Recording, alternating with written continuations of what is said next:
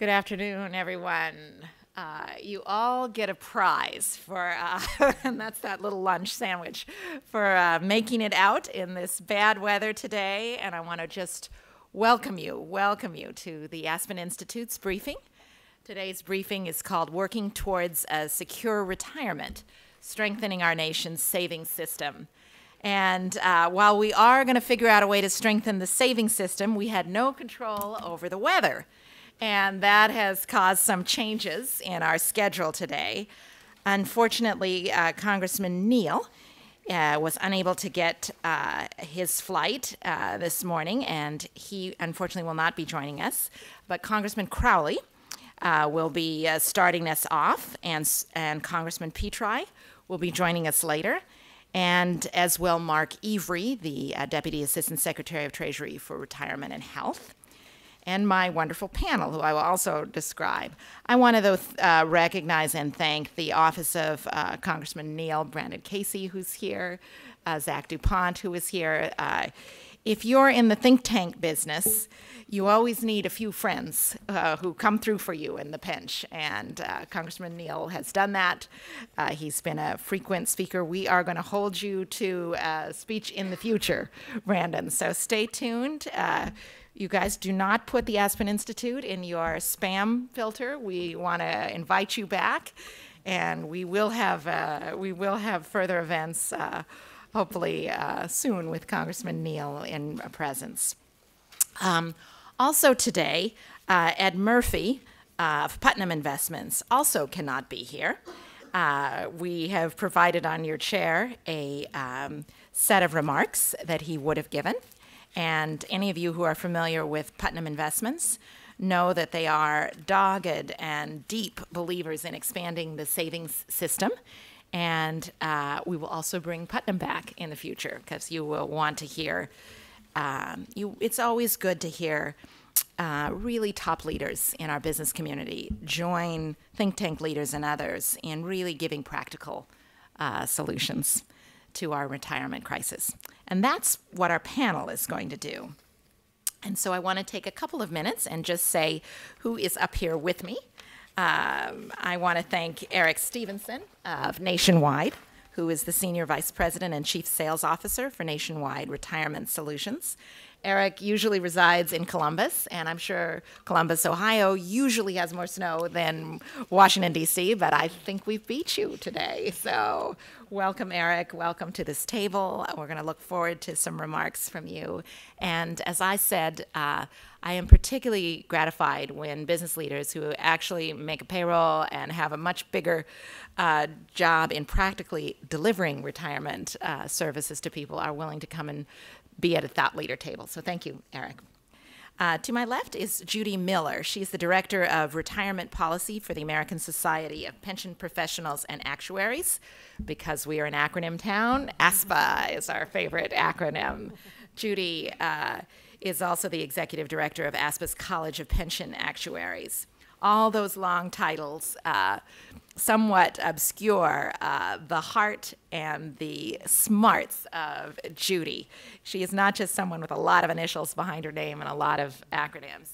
She's a deep thinker about retirement policy. She's a previous staffer on the Senate side and someone we turn to often when it comes to the puzzle of retirement. She has testified in this very house. Uh, I don't know if it was this room, uh, but we welcome you back, Judy, and we're going to look forward to your uh, comments.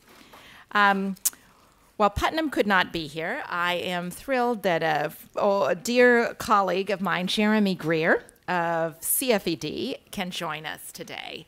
And uh, Jeremy is by no means trying to speak for Putnam Investments. He's going to speak for himself and for CFED.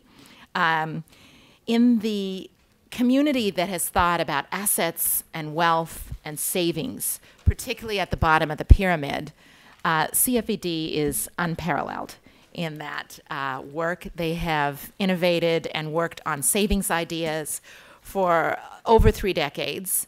They are particular experts in child savings, uh, which is something we're going to hear more about today. So, Jeremy, I want to thank you very much for joining us today, coming in, pinch hitting. Uh, all of you are getting the view that if you know Lisa Mensah and the Aspen Institute, you too may be called in to be a panelist uh, last minute or to sit with me. I'm tenacious. I hold on to my friends, and uh, you'll have your turn. But uh, to all of you, welcome very much to this briefing. Um, I want to say a few words about where we are in the season of tax policy. We are honored to be in a Ways and Means uh, committee room.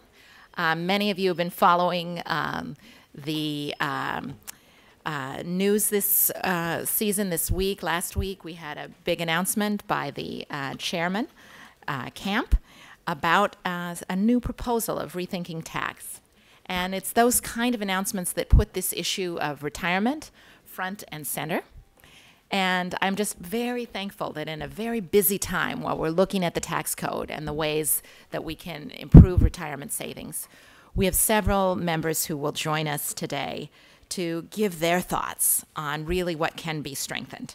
If you're interested in this field, it's, uh, it's one of the most interesting fields in the way it weaves together tax, personal responsibility, asset creation. I love it because uh, I'm a serial student of all sorts of fields. And if you're going to be interested in savings and people's money, you got to have a lot of uh, doorways into that field. And tax is certainly one of them.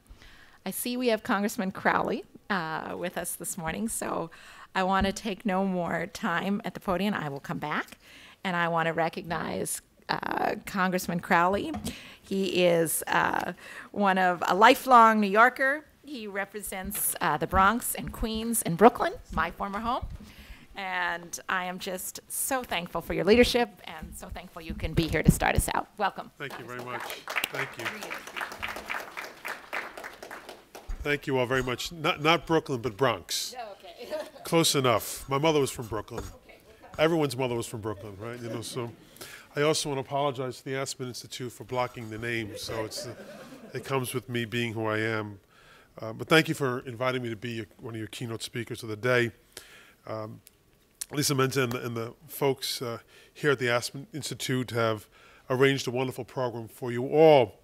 Uh, the snow be damned, right? So, uh, uh, despite your name, the Aspen Institute, I assume many of you have been to Aspen at some point in your life. Uh, Washington doesn't handle the snow as well, so I apologize for that. I salute the excellent work of the Aspen Institute's initiative on financial security and their belief that creating wealth and, and building assets isn't something that people can just start later in life. It must start far earlier. The issue of securing a decent retirement for America's seniors has been at the top of policymakers' agendas since before the creation of the Social Security system and is one of the hallmarks of the American dream that each citizen who puts in a lifetime of hard work and raises a family can retire with at least a small pot of savings. For decades, government and business have subscribed to the idea that retirement security is created by a three legged stool. You're all familiar with that. The first leg is Social Security. And this system remains strong. Contrary to critical reports, it is solvent and will remain so with only minor tweaks for generations to come. The second leg is pensions. In this area, we have seen an unfortunate shift in our country over the past few decades, away from the traditional defined benefit pensions plans, where workers were provided a guaranteed financial package in their retirement. But let me be very clear even though defined benefit plans may have receded, the idea that they no longer exist is not only false, it is dangerous. Over 40 million people today rely on these defined benefit plans, and there are actions Congress must take to strengthen them going forward. For example, large sections of the law that govern traditional DB pensions expire this December. Without modernization of the law, we could see the hastening of the demise of this critical underpinning of retirement security in our country. As a member of the Ways and Means Committee, I'm working to modernize the laws governing pensions so that DB pensions will continue for the next generation and beyond. The third leg of the stool is personal savings. This leg is just as important as the other two when it comes to ensuring the retirement security stool is steady, strong, and secure. But it also happens to be the weakest part and weakest leg of the stool today. Part of the problem is wage stagnation. The fact is, incomes are simply not keeping up with expenses. This results in families having to forego savings in the long term to meet their basic daily needs of today. That is why I am pleased the President has outlined his plan to help workers save through the My RA program. myRA will help ensure all Americans have a secure retirement and greater savings during their what ought to be their golden years. I'm pleased that uh, Mark Iwry is uh, will be here to discuss uh, the myRA accounts with you today. The President's initiative shows that he recognizes that if Americans can't save, they simply cannot grow. And if we're not growing, we're stagnating as a people and as a nation. I would also be remiss if I did not mention the leader in Congress on retirement savings, my good friend Congressman Richie Neal from Massachusetts. They don't know how to handle snow either. Uh, so that has forced to keep him and his presence uh, here with you today. Uh, Richie ought to know snow. He's got the Berkshires in his district. Um, he has been on the forefront in helping people enjoy a more secure retirement. A key part is his bill, the Automatic IRA Act, which would require employers with 10 or more employees to enroll them in an IRA via an automatic payroll deduction. It does not, contrary to belief, it does not force employers to contribute to the IRA. But we know once employees start contributing automatically towards their own retirement, that money is perceived as gone. They often forget about the withdrawal and the investment that they're making and do not take actions to proactively stop the withdrawals. It's like building a nest egg simply by accident. Financial security is not just about retirement, but about every stage of a person's life. Americans need to save if they're going to afford college, invest in a home, cover unexpected emergencies, or take the risks that are necessary to start a new business. Unfortunately, the saving picture in the United States today is bleak. As a result, we are seeing a new generation of Americans growing up with no assets and little ability to either climb the economic ladder or simply weather a difficult time. But this savings crisis is not just an issue that affects individual families. It is a major public policy issue. A lack of individual wealth creation has broad macro ramifications for our entire economy. We know that higher levels of household savings and investment not only lead to higher growth in, in, in, our, in, our, in the economy, but also stronger human capital. And greater savings allows banks to lend, businesses to invest, and jobs to be created. We would also agree that saving money today for unexpected expenses tomorrow is good for both individual households and our overall economy.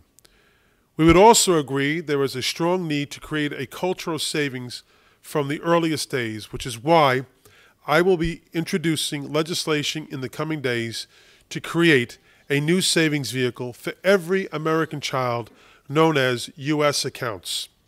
In short, my proposal will ensure that upon the birth of a child, a U.S. account will be established in that child's name. Annually, that child's family will be allowed to deposit up to $2,000 into the account. But we cannot assume that all families have the kind of money or disposable income that would afford them the ability to deposit the maximum amount allowable each year. That's why my proposal goes a step further, providing a, a $500 in seed funds at the creation of the U.S. account and expanding the refundable child tax credit dollar for dollar up to a maximum of $500 annually to match a family contribution. Additionally, my bill would authorize a match equal to the family contribution to be directly deposited into the US, into the US account, eliminating some of the administrative complexity and allowing these accounts to grow. This US account match would phase out along the lines of the EITC, ensuring it targets those most in need and meets the needs of larger families. Again, to help those at the bottom of the socioeconomic ladder who have the least ability to save, the bill would also create the refundable child tax, uh, would increase the refundable child tax credit up to a maximum of $500 annually support, to support the fam- that, that family's contribution. Uh, this family match, which would also be income targeted, would allow families suffering from st- stagnating incomes who can barely make ends meet have the opportunity to build a nest egg for their children. These accounts would they would grow tax-free. They'd be locked away until the child went off to college or when they no longer were dependent, and the income buildup would be exempt from any public benefits test. While the accounts would first be created by the government, the parents would have the option of keeping their funds in a TSP style account or transferring the U.S. account to a private financial services institution that is registered with the government to handle these types of accounts, much like we saw in the example of England. So this will literally work for everyone, for all Americans. It combines savings and support to ensure that it is cost effective, simple, and easy to do. Now, I know this is the question you all want to ask. Does this type of plan cost money? Yes, it does. But what is more costly is a society coming of age deeply in debt, with no savings and a belief that savings is something for the elite few and not for everyone. Income security is the issue of our time, but action is needed if we're going to ensure the retirement three legged stool is sturdy and can withstand the test of time. Last week, my Republican colleagues released their blueprint for tax reform. While I have grave concerns with their plan, I do welcome its introduction because I see it as a sign that both sides of the aisle recognize the need to have this conversation. It is my hope that the path we ultimately take with tax reform is that we will put in place policies that help to lift people up. Our tax code needs to help lay a foundation that will ensure our economy works not just for the few, but for everyone. Facilitating savings and wealth creation for the many must be part of that plan. And you can be sure I will be advocating for the inclusion of the U.S. accounts. And I hope I can count on all of you to help advocate and build support for this proposal. Again, I want to thank you uh, all for allowing me to be a part of this discussion uh, and for all of you braving the snow, the terrible, terrible snow, which will be at an end at some point, I know. Uh, and uh, if there are any questions, I'll be happy to entertain them.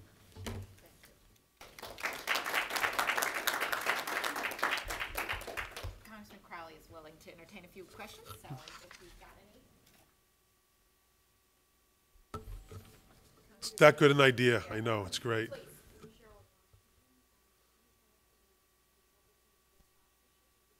We have not uh, introduced the legislation as of yet. Oh, sorry. Go ahead. Yeah. I was just going to repeat the question. She asked if there were any interested co-sponsors from the Republican Party. So Thank you. Thank you, Lisa. Uh, as of yet, we have not introduced the bill and we haven't floated it for co-sponsorship. What I do think is interesting about the bill is uh, there are a couple of aspects to it I think my Republican colleagues will find enticing. Um, one is that we, we kind of model this uh, off of the, uh, the child tax credit, which is something that uh, has bipartisan support and has had bipartisan support. In many respects, it's kind of an enhancement of that uh, and the opportunities that that provides for, uh, for, for families today. We would enhance that for future uh, savings.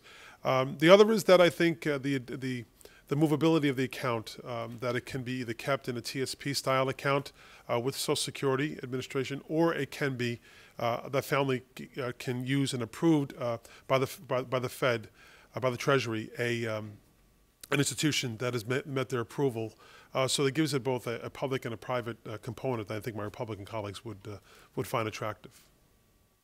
I would hope. You- Thank you. Justin King, New America. Congressman Crowley, thank you very much. I'm Justin King. I work with the New American Foundation. We've worked with your colleague Senator Schumer on very similar piece of legislation for many years. Very excited to have you making this announcement today. Can you um, expand a little bit about how you see the money being used um, and at what points uh, uh, children and their parents will be able to access the money uh, and apply it to different needs?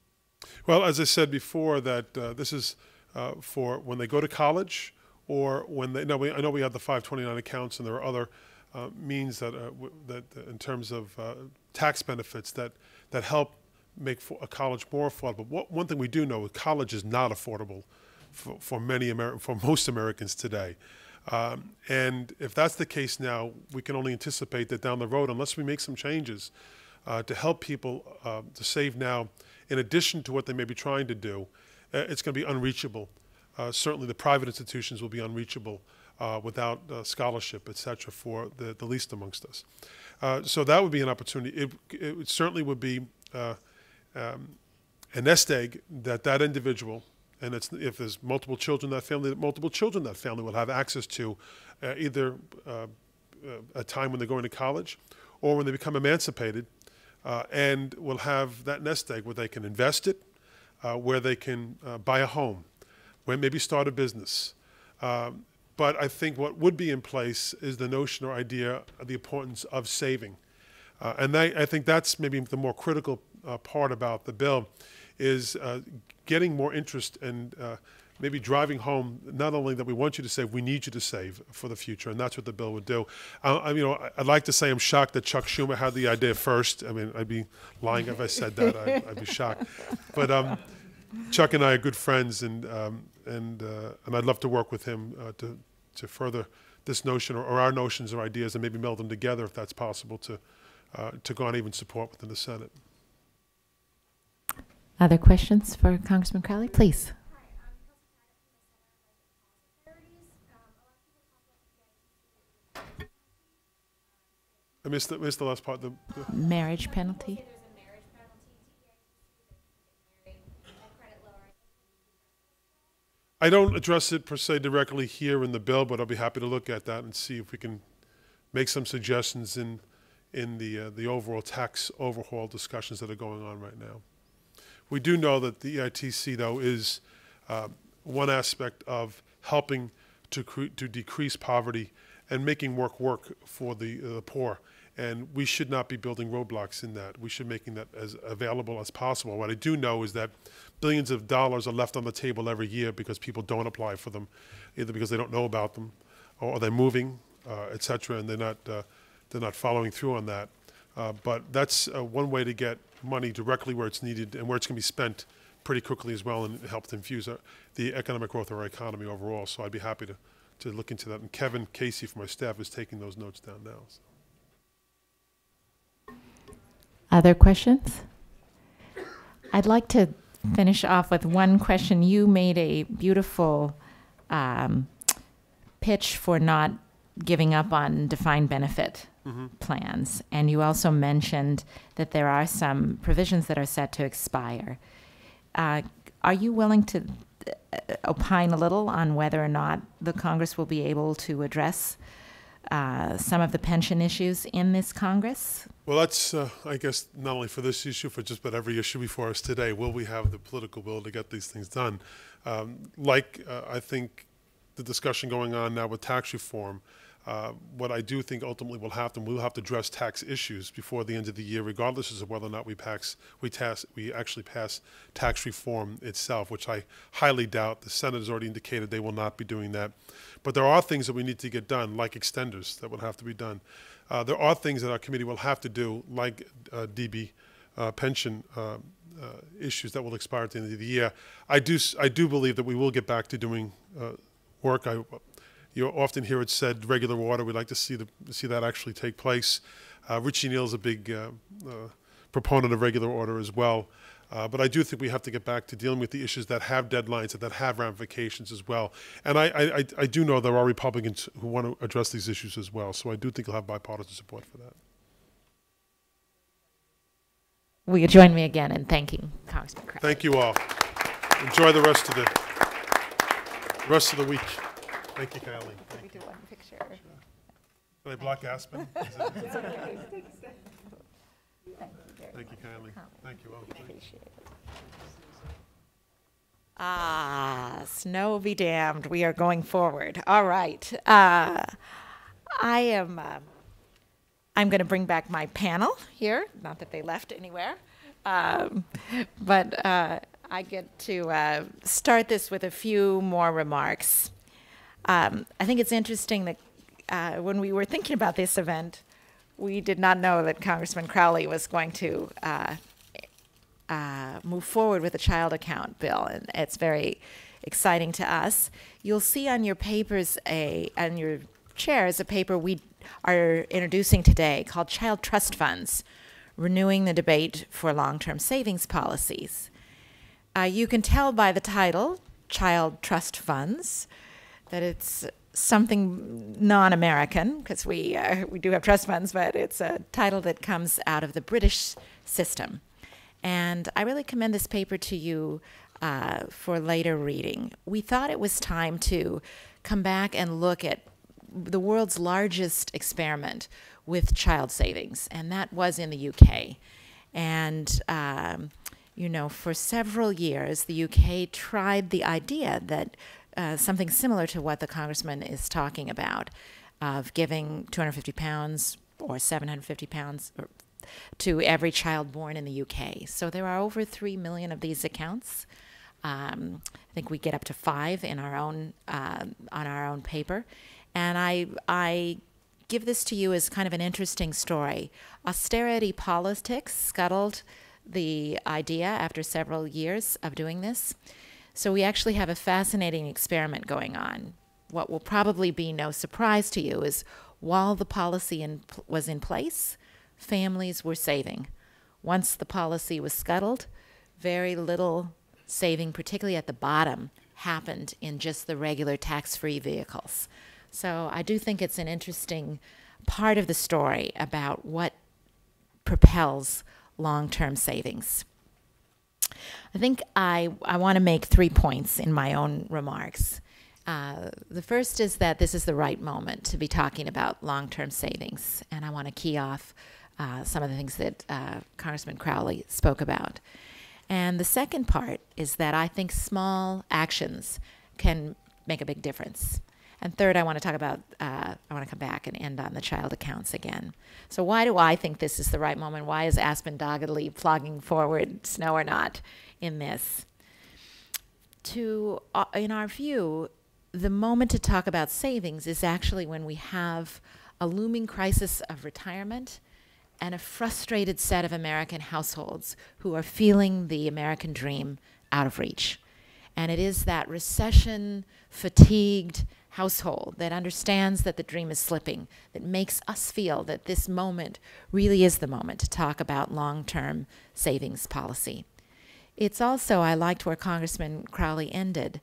At some point, Congress comes back to regular order and moves uh, ideas forward and moves legislation forward, and there will be vehicles going forward that have a chance to address some of the nagging issues, and certainly the lack of retirement savings and the lack of overall savings is one of those. So we do feel that we are in the right timing, that quietly, uh, many of you are here, are on the staffs of many uh, members, both on the Senate and the House side, and we know why we can't get our calls returned. You are busy. And uh, while we haven't had a lot of signing in the Rose Garden, we know that the work is going on underneath, and we, we applaud that. And we urge you uh, to keep the good work going forward and to pay particular interest in this long term savings need.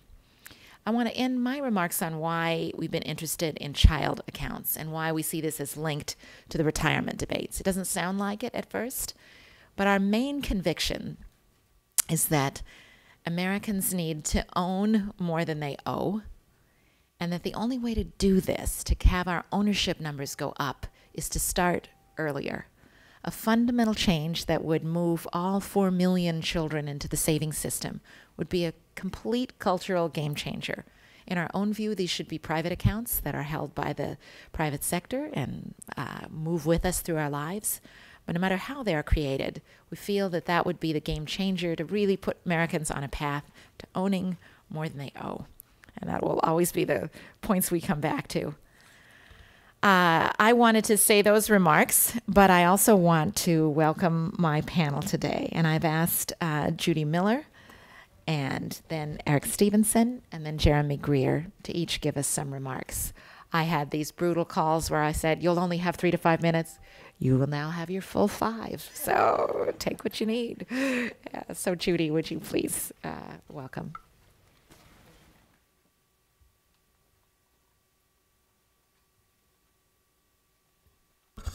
Thank you, Lisa, for arranging this under the, the uh, very difficult circumstances. Um, ASPPA focuses on, on retirement security, so I'm going to leave child accounts for the moment and, and focus on uh, saving for a secure retirement. We all know there are three basic things we need to do to strengthen the nation's retirement savings system. We need to expand access to workplace retirement saving. We need to increase the amount of contributions that are going in for those who do have access. And we need to help workers that are nearing retirement age make appropriate decisions about how to convert their lifetime of savings into a secure retirement. I'm going to focus, focus on the first task today, expanding the availability of workplace retirement savings, because the most important thing we can do to improve retirement security is to expand the availability of workplace retirement plans. The only way we've been successful at getting working Americans to save for retirement is through workplace retirement plans.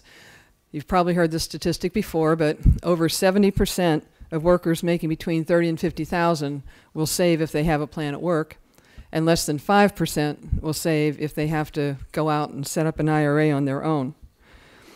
By compare, um, tens of millions of American workers already do have a workplace plan. Most of them are middle class. 80% of participants in 401k and profit sharing plans make less than 100,000 a year. 43% make less than 50,000. Now there are some competing statistics about how many people don't have a plan at work, but there's general agreement that it is millions of people, and so it is something that we really need to address and stop uh, arguing about what the numbers are. These people that don't have a plan at work, you know, that puts them in that less than 5% category. They're, you know, there's less than a 5% chance that they're going to be saving. And because many of them are lower income or, or part-time workers, that's, that probably is even uh, less than your, your typical uh, 30 to 50,000 person. We can improve the success rate dramatically by simply expanding the opportunity to save at work. And we need to do that without reducing coverage for those that already do have a plan at work. Because workplace plans uh, play such a critical role, ASPPA strongly supports Representative Neal's auto IRA proposal. I'm sorry he wasn't here today to speak about it, but I'll uh, maybe take up some airtime and, and make up for that here. Uh, there are other proposals that we support, but none would be as effective at truly expanding coverage as Neal's auto IRA bill. For example, we support the Starter 401k in Senator Hatch's SAFE Act it's a deferral only safe harbor to encourage employers to offer workplace savings arrangement. Now, the starter 401k would be helpful on its own, but it would be powerful coupled with auto IRA. Similarly, multiple employer plans, MEPs, could be a good alternative for some employers, but they're not likely to make a significant um, inroad on expanding coverage without an accompanying requirement for small business to, to consider these arrangements. We also support an improved saver's credit because it'll help lower paid people be able to save. But an improved saver's credit without increased availability of workplace savings would not make a significant impact on coverage. Auto IRA, in other words, makes all these other proposals better. Because contribution limits for IRAs are less than for employer sponsored uh, 401k plans, auto IRAs are not expected to um, cut into current 401k plan sponsorship. Now, if the starter 401k were also in place, we think many employers would opt to go the starter 401k route instead of an auto IRA arrangement. And then they'd already be in their 401k plan, and when they're comfortable, when the business gets more established and, and they actually have some cash to save themselves, um, they'd be in a position to very easily move up into a more robust arrangement. But either way, uh, once employers and employees get used to payroll deduction savings through auto IRAs, we believe employers will be more comfortable again once their business is stable, moving up to a, a more substantial plan. Uh, GAO agrees that auto IRAs would increase savings. Their August 2013 report on auto IRAs found that 36% of households across all income groups could see an increase in savings if auto IRAs were implemented nationwide. In addition, households in the lowest earnings quartile would benefit most, as GA- GAO calculated the projected median annuity for those households could increase by two thirds.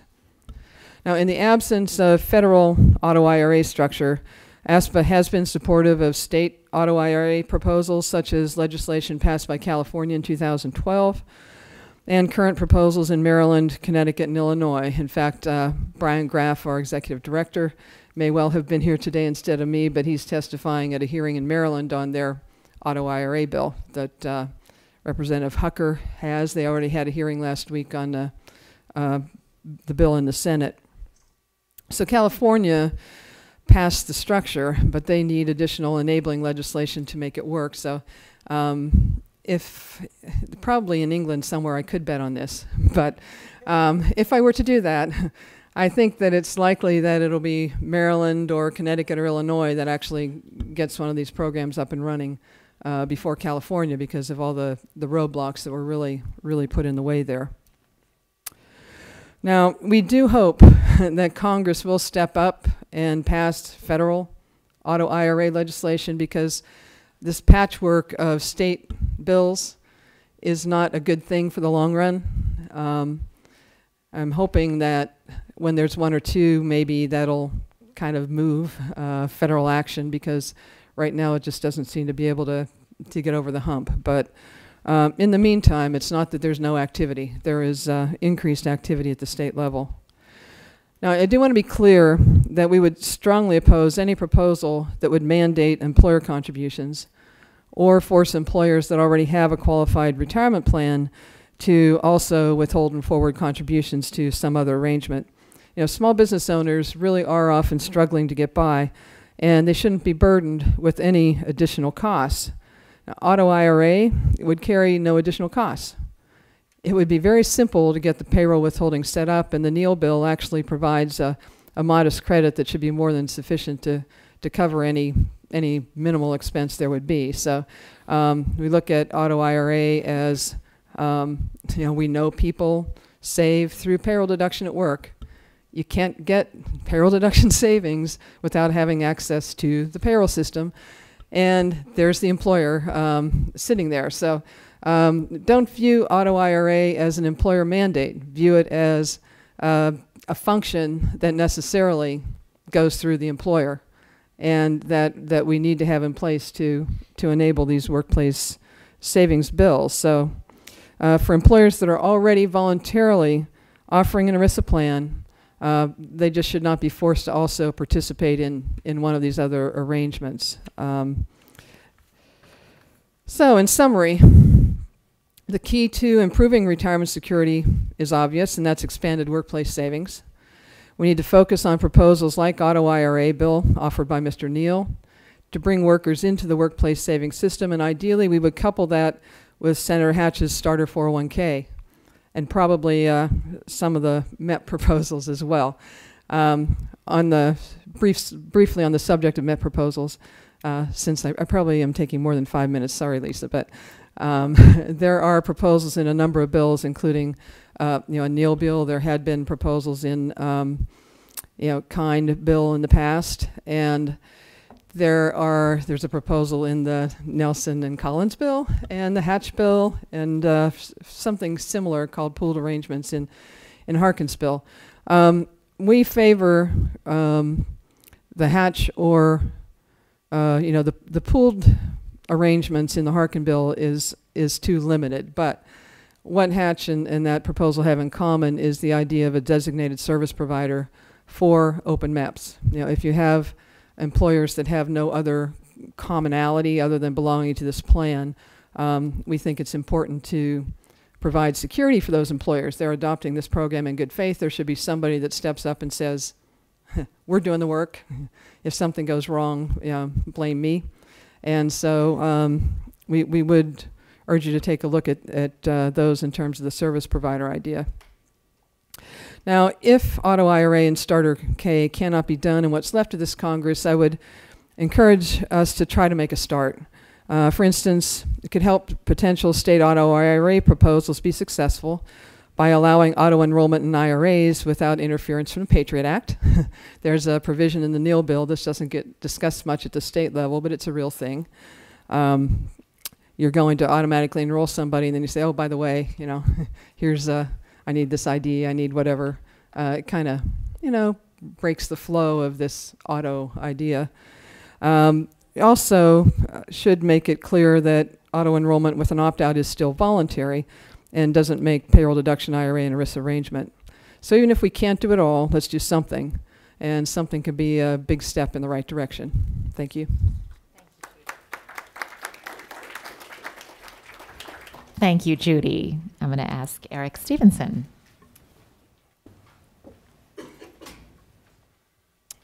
Well, uh, thank you, Lisa. Uh, on behalf of Nationwide, we really are excited to, to partner with you and to be here and um, just the whole vision that you have around Aspen Institute and the idea of saving more, saving sooner is so powerful, especially for, as you talked about, folks at the bottom of the pyramid. That's, that's so key, and we're very supportive of that.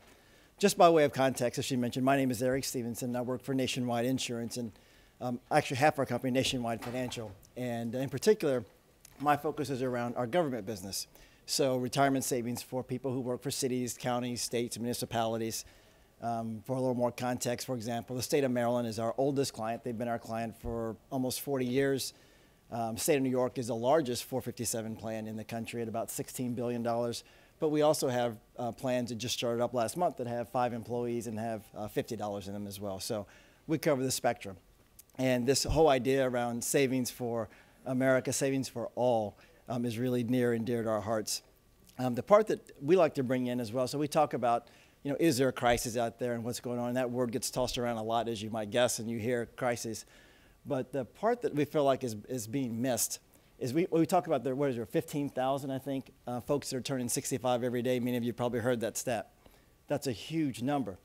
But maybe more importantly is of those folks that are 65, how many of them are even thinking about not just what they need in terms of food and housing and clothing, but what about health care?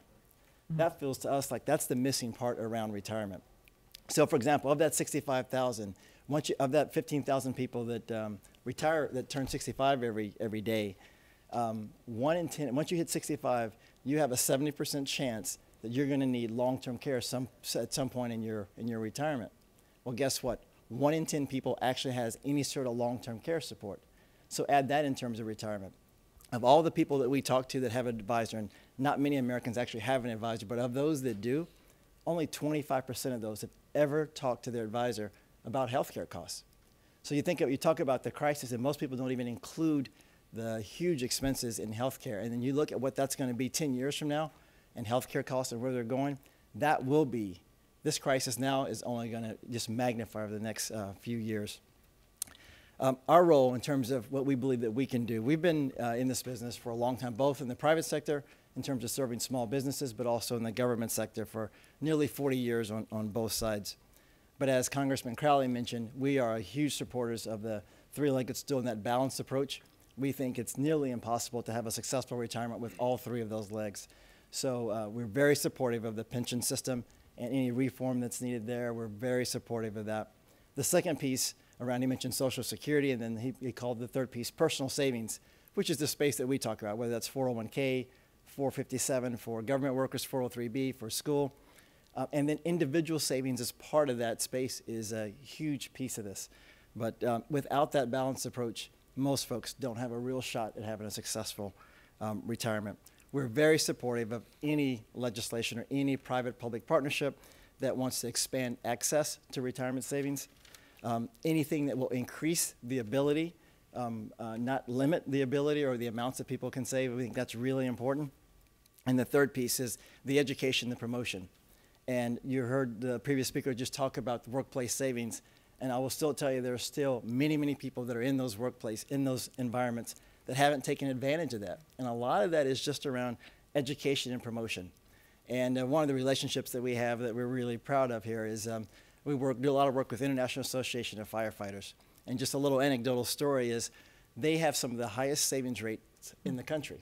And the reason for that is when you start in public safety, one of the first meetings that you have is you'll have a captain or you'll have a leader, someone you respect, will pull you aside and they'll say, Lisa, if you don't do anything else, you have to start savings today. And so we have young folks, young men and women at 21, 22, 23 years old that are saving significant amounts of dollars because someone just took the time to encourage them to do that. That happens in, in private sector as well. When someone will engage at that level, that's what makes that makes a huge difference in people just getting started. So when this when the congressman was talking about getting people started at birth, uh, that idea I love that idea because savings is a habit, and once you once you engage in that in that habit, um, it becomes a way of life. But if you don't, and the later you wait in life, the more difficult um, it becomes. And I was telling Lisa earlier, I think she has a career in marketing as well because her tagline of "Save sooner, save more" uh, couldn't be uh, uh, couldn't be more appropriate. And one of my own little taglines is we all, we often talk about retirement savings, you know, savings for retirement. I like to say what we're really doing is savings for life. All the things that the congressman mentioned around college and around first house and around just providing um, uh, a decent life for your family all starts with savings and absolutely saving more than you owe. But saving sooner, saving more, and we're all for that at Nationwide. So thank you very much. Thank you. I really appreciate it. This is why I'm lucky. I have great people join me. Jeremie Greer, would you please uh, join us and give a few remarks today? Thanks, Lisa. Um, thank you, everybody, for um, apologize. I'm pinch hitting, so my the, you just got to grab a bat off the shelf when you pinch hit. Mine was the notebook that was sitting on my desk to write down a few remarks. So this is exciting day for me to to hear a member of Congress come to a podium talk about kids accounts. Um, this is a day that uh, CFED has been involved in and, and behind, working with like Lisa, Justin, New America, um, Carol, who was my predecessor at CFED. I'm now in Congressman Ellison's office. Have been working for a long time in Congress to promote this idea of, of child savings. So to hear a prominent member of uh, Congress come here and talk about it is an exciting, exciting day. And um, and not just a, a, proposal that would really move the needle and really move things forward um, is really exciting. Um, so just a little note. So Lisa had mentioned CFED and how long that we've been been at this. We've been at this for over a decade around kids accounts, and it's and it we weren't at it alone. We worked with a lot of groups, Ford Foundation, New America Foundation, um, University of Washington um, in St. Louis. A lot of a whole field was built up around the idea of moving on one principal idea that and, and our president, Andrea Levere, would say this if she was at the podium today that parents will do for their kids what they won't do for themselves. So if they maybe they didn't invest in their own education, but they're going to work to invest in their kids' education. And that's kind of the, what motivated the idea around child savings. And what we've seen is this kind of slow arc over the last 10 years of real momentum being built up in the field. So some of you um, may be familiar with the um, City of San Francisco, County of San Francisco's kindergarten and college program. Essentially, it's a program where every kindergartner in um, San Francisco gets an account and a small seed and an opportunity, if they save in that account, to build up um, a nest egg for their education. Uh, there's similar initiatives taking place in Cuyahoga County. Um, another initiative similar to that in Nevada, the state of Nevada. So what we've seen is a real culmination of these programs happening around the country, big ones like San Francisco, and even small ones like a program in the Mississippi Delta that's being operated through a small credit union um, in Mississippi. But what this has done is we've learned a lot over those years around what works, what doesn't work. We've had researchers come in, look at the data, say this works, this doesn't work, you should look at this. And what's so exciting to hear about what the congressman said today was this bill is really rooted in a lot of what we've learned, um, which gives us a lot of confidence that moving forward, there's a we can move forward in an informed way that is built upon the knowledge that we've accumulated. So I'm going to share a couple of those learnings that I think are captured in the legislation what we heard from the um, congressman. One, universality is critical, right? It's about, it's not just that poor people have difficult time saving.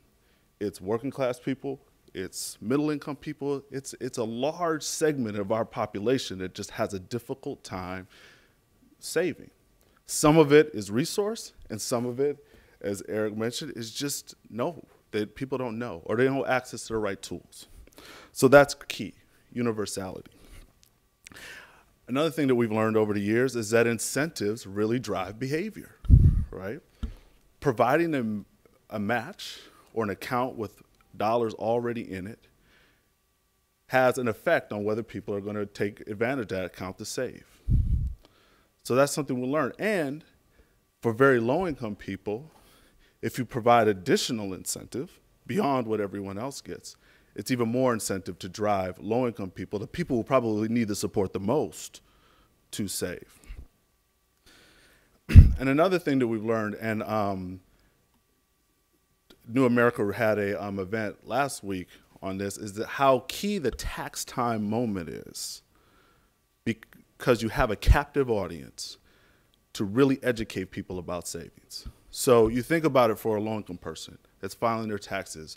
They take advantage of the child tax credit, the EITC, and they get probably the largest lump sum payment that they'll get over the course of an entire year. That's the moment you want to have a conversation with someone about savings. You don't want to have a conversation about savings um, in the middle of the year when the rent's due and the lights are due and the heat bills due or they're going to cut the heat. You don't have it then. You have that conversation at a point in time where they have enough money on hand to think aspirationally and think beyond the now. So it's what we've learned is that that tax time moment is key.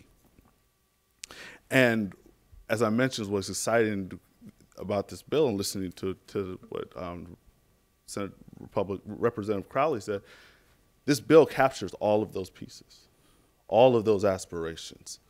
So we're starting from a place where we can really move forward to really make a difference. Um, before I step back into my chair, I do want to um, talk a bit about um, the point that Lisa was making that when we're talking about kids' savings, what we're really talking about is lifetime savings. So we can't go about this in a siloed approach where you've got kids' savings at the beginning of life, you have maybe people saving from home ownership or to start a business for other reasons in middle of life, and then you have retirement. That same culture of savings translates all throughout that life continuum. So I think what we want to argue, and I think what's in the best interest for everyone, recognizing that there aren't a lot of people saving as much as they should. I mean, Julie said, let's not fiddle about the numbers, let's acknowledge people aren't saving as much as they should. What's the best time to capture them?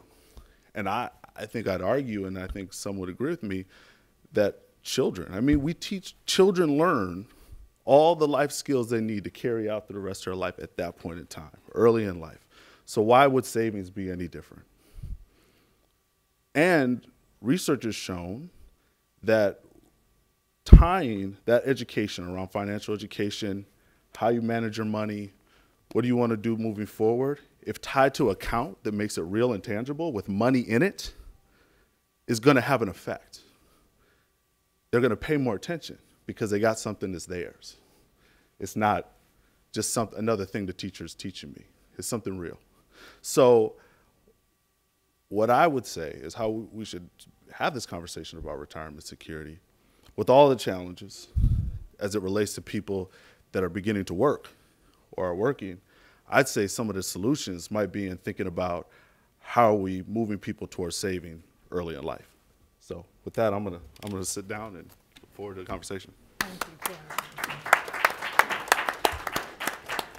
I love these impromptu things. They always work best. Uh, Jeremie and Judy and Eric, all three of you have made impassioned pleas for what we should be doing as a country, which is uh, to expand this system. I want to uh, ask a question of this group, and then I want you, as the audience, to be thinking of one question as well. And uh, as soon as we uh, as I ask my question, I see our wonderful Congressman Petri here, so we're going to let him. We'll let him catch his breath, though, for a moment. Um, Judy, I want to come back to you. I want to start with you, and then I'll ask Eric and uh, Jeremie. Um, just opine for me a while. Um, why has it been so hard to move the needle, as you say? And this seems like ground that's been heavily bipartisan in the past. Why, why, uh, why has it been so hard, and what gives you some sense of, of what the block is?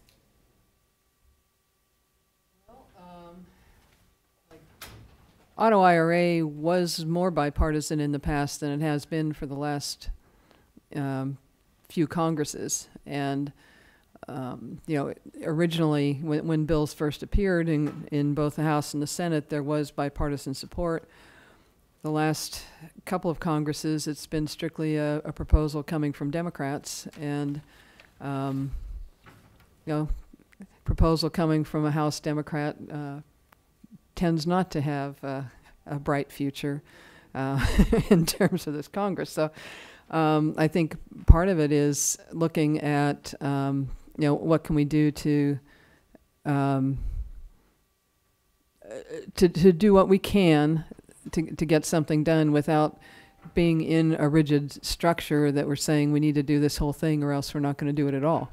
Um, like I've I've spoken to some people and I don't know that I have a I don't have a lot of people behind me on this one, but I think that um, if there's concern about requiring all employers to offer auto IRA, um, that it might be helpful if we had a a structure, a federal structure that said what the default investments are, that said um, if employers of a certain size do this, that they're going to get the credit to help defray expenses.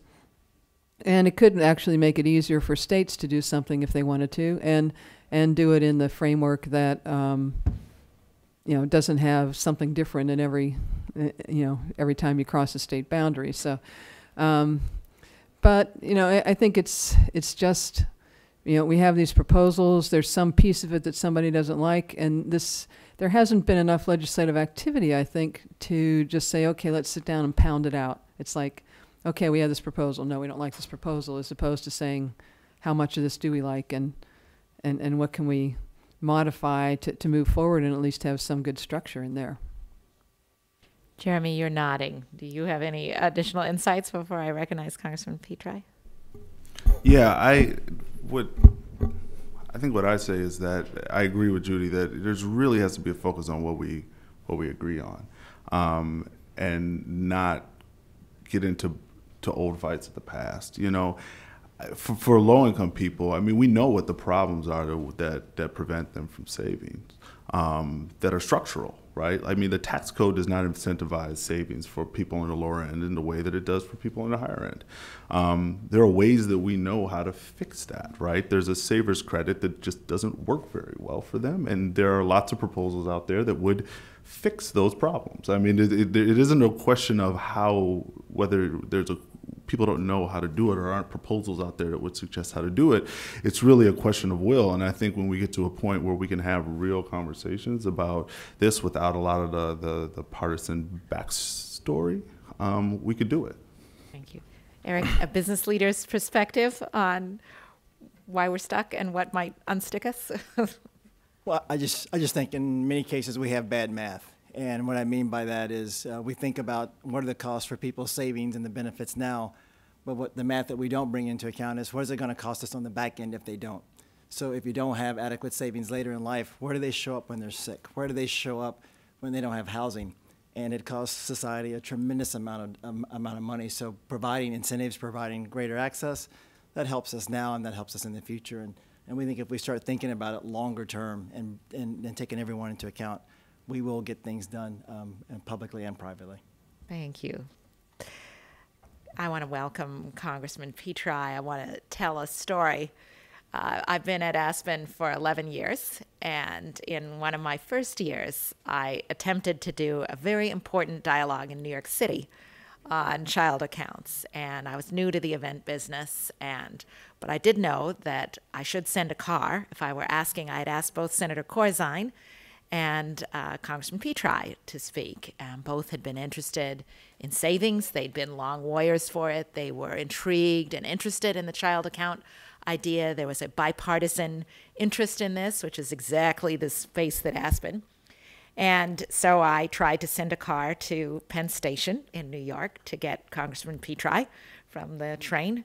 And of course, the car and totally missed Congressman Petri, who jovially, in good Midwestern fashion, just strolled up uh, Fifth Avenue to our site and showed up my event just on time. And I will never forget that. I thank you. You have once again showed up at my event just on time. Uh, this time it was a snowstorm that's prevented everybody else. But uh, and you've arrived just when we were uh, looking for a moment of bipartisanship. And you model that in the fact that you've been here, but you've also stood with Aspen on many times. Congressman, uh, I welcome you to this group, which is heavily uh, experts, uh, heavily staffers, and people who are here today to hear more about working towards a secure retirement and what can be done to strengthen the nation's savings system. Congressman Crowley opened our discussion by also uh, reimagining child accounts again, uh, as he also endorsed what uh, Congressman Neal had been doing in the automatic IRA and the Savers Credit bill. So you are welcome to talk about whatever you want to talk about, uh, but uh, I couldn't be happier to have you here, and I want to thank you and recognize you.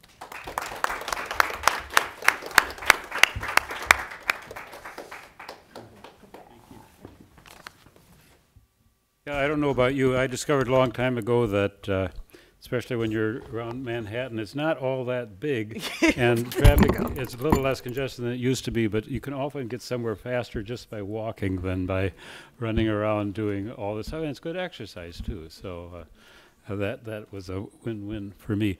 Well, I got uh, uh, uh, Richard Markowitz in my office is here somewhere. He's the our, our expert on this has worked in this area for many years and on other financial issues. Uh, I guess as a kid, I got interested in this somewhat, and I don't know if it's apocryphal or true, but uh, Albert Einstein was supposedly asked in some interview what the most powerful force in the universe was, and he said compound interest. and uh, if uh, depending on which side of that force you're on, it works for you or it grinds you down over over time. And uh, so I've, I've uh, often I don't know if you really said that or not, but I've often thought about that, and it does uh, the the uh, small actions can result in very big outcomes over time. And uh, so it's important, I think, for us to try to be aware of that and do what we can to kind of encourage or set the table or make it more likely that people make small right actions rather than small uh, disastrous actions over the over the long run. And I'm not telling anyone uh, who's a student much about all this because we all know about student loans and how the interest works and how all that that works. And uh, it's it, uh, debt is a great uh, uh, thing uh, as a tool to enable you to do things that might not otherwise be possible, but it's a very dangerous thing as well, and can easily, if people are not financially sophisticated or thinking about it, if they're casual about it, there's a lot of college kids when they go off with a credit card for the first time learn. We sat down and had a lecture at our house about a cash card, not a not a credit card, and I think a lot of a lot of young people are doing that partly uh, in self self defense uh, to make sure that they're not not getting at the end, you know, doing something. Uh, uh, being a sport on some occasion and then paying for it for it later. But I thought I'd maybe be mildly useful. You probably have heard this from others. Just spend a couple minutes going to surveying the situation in this this area. Uh, we clearly do have a big national problem, uh, and uh, half of American households have no retirement assets, and uh, in an individual retirement account or a workplace defined contribution plan. 25% have assets but uh, uh, less than $50,000. And it's- very clear that that, that uh, means that people are going to need, uh, are going to have a problem when they retire uh, in, in trying to have income uh, to support that retirement. Uh, the Bureau of Labor Statistics reports that uh, 74% of full-time workers have access to a workplace retirement plan, but only uh, 37% of part-time workers have similar access. Participation rates in these plans is higher among state and local government uh, workers. Uh, among those in private industry, 64% have access to uh, retirement uh, benefits. Uh, some 82% of workers in medium and large organizations have access to a retirement plan.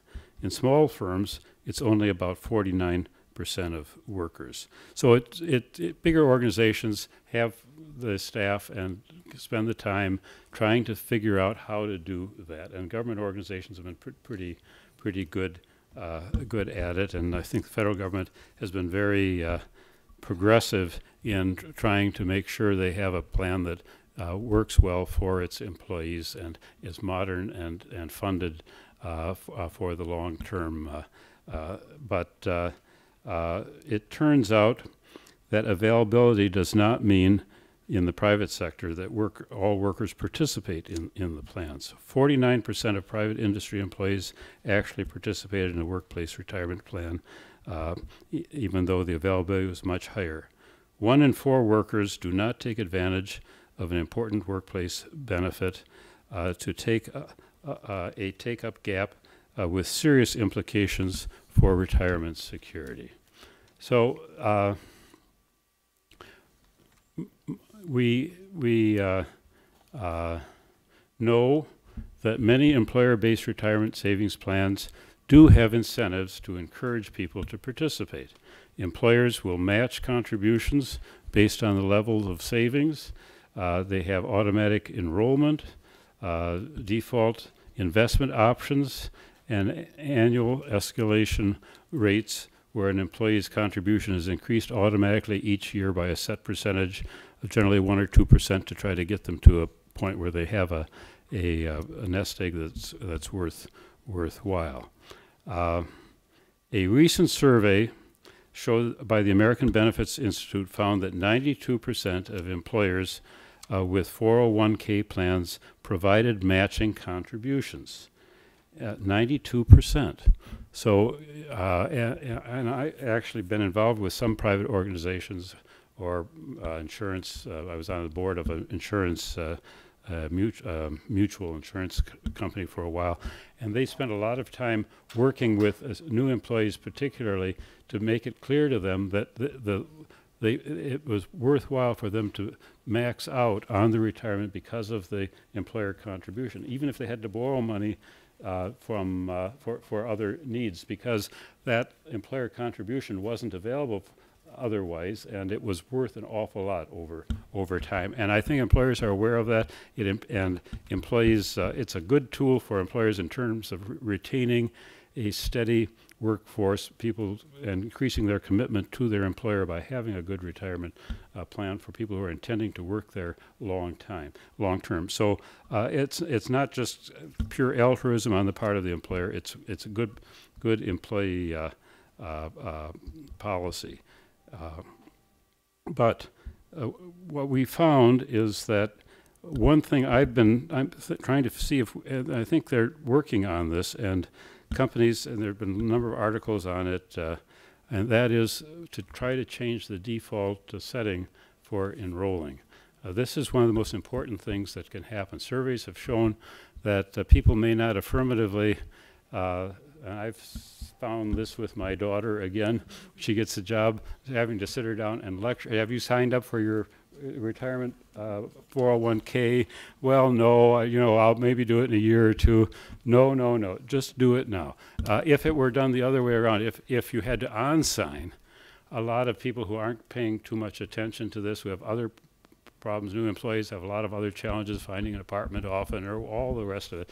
It is, I think, a very important uh, reform uh, that we can do that will increase, uh, according to the studies, participation in these plans significantly.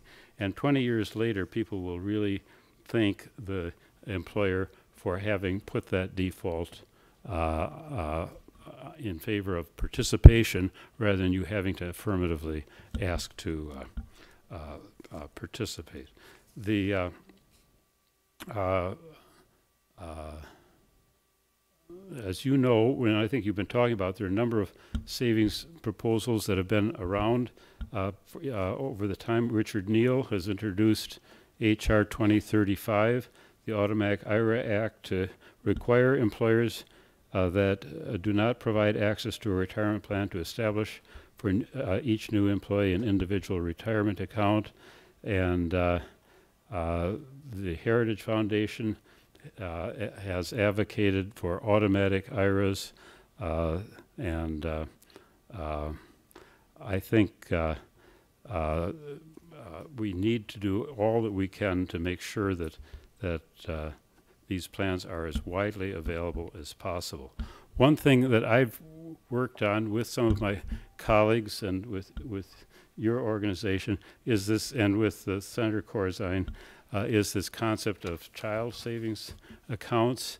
Again, that's where the long period of time and compounding uh, it makes a big difference if you if you put put a thousand dollars or some amount of money in uh, an account uh, at birth. The rule of thumb used to be it varies obviously as interest rates and inflation rates and all the rest of it change. That leaving aside the tax taxes, uh, you could expect that money would double about every seven years. And uh, as a as a young child, I used to when I was learning math, start with a dollar. How long will it take before you're a millionaire? Well, it, it that starts very slowly. But by the time if you start at age, you know, zero and double every seven years, you'd be surprised by the time you're 65 or 70 or something. It gets to be a huge amount of money. So this this uh, uh, that's a little illusory because of inflation and depend, depending on all that, but it nonetheless is certainly a lot better than not not doing it. And uh, I so I've thought child savings accounts uh, as as a way of trying to uh, help people uh, see and learn by watching how uh, the uh, interest compounds, and the benefits of it, uh, and that it might encourage family members to, if they they did exist, to maybe when they're if they're giving a gift to a child to put five or ten dollars into that account on birthdays and Christmas and other other celebratory occasions, and just be a vehicle for uh, building that up. One of the difficulties with the child savings account concept it, is that, of course, once you establish it, if you do, every good cause in the world would like to say, well, it should be available for education, or it should be available for buying work tools for the first job, or it should be available for buying a vehicle, or it should be buying for a down payment on your first, whatever it is.